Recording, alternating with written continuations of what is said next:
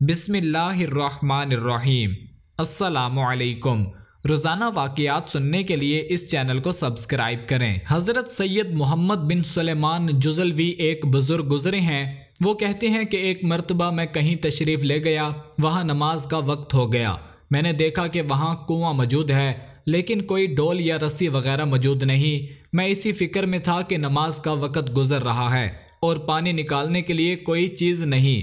पानी गहरा था, उतर भी नहीं सकता था। मैं इधर उधर देख रहा था कि इतने में एक बच्ची आई और पूछा, चचा, क्या तलाश कर रहे हैं? मैंने कहा, बेटी, मैंने वज़ू करना है, लेकिन पानी निकालने का कोई ज़रिया नहीं। उसने पूछा, आपका नाम क्या है? मैंने कहा, मुझे मोहम्मद बिन सुलेमान जुजलवी कहते हैं। बच्ची बोली, आप वो सुलेमान हैं जिनको सब बुज़ुर्ग कहते हैं? मैंने कहा कि हाँ लोग मुझे बुज़ुर्ग कहते हैं। तो कहने लगी कि आपका ऐसा कोई नेक अमल है, जिसके ज़रिए आप अल्लाह के सामने करके दुआ मांगें, जिनसे पानी ऊपर आ जाए। मैंने कहा कि नहीं बेटा, मेरा कोई रखो तो अल्लाह मेरी सारी हाजतें दूर फरमा देता है।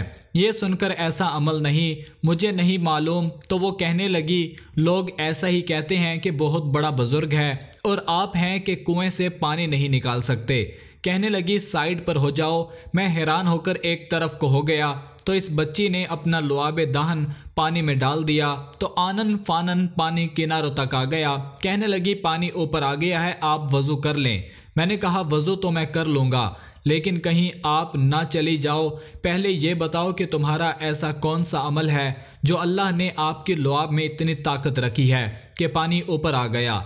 तो इस बच्ची ने कहा कि, चचा, ऐसा तो कोई ख़ास अमल नहीं, लेकिन मैं नबी सल्लल्लाहु अलैहि वसल्लम पर दरूद ज़्यादा पढ़ती हूँ और मैं जब ये अमल अल्लाह के सामने मैंने अहद किया कि जब मैं वापस अपने वतन जाऊँगा तो दरूद पाक के फ़जाइल पर किताब लिखूँगा। फिर हज़रत मोहम्मद बिन सुलेमान ने दरूद पाक के मुतल किताब लिखी, जो दलाइल खैरात के नाम से मशहूर है।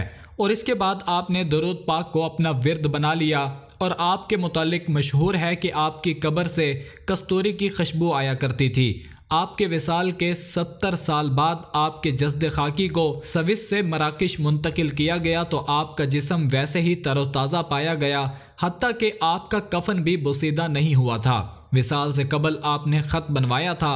जो तरोताज़ा था हती कि किसी ने आजमाइश के लिए आपके रुखसार पर उंगली रख कर दबाया तो आप वो जगह सफ़ेद हो गई और थोड़ी देर बाद फिर सुरख हो गई, जैसी जिंदों के जिसम में खून की रवानी के बायस होता है।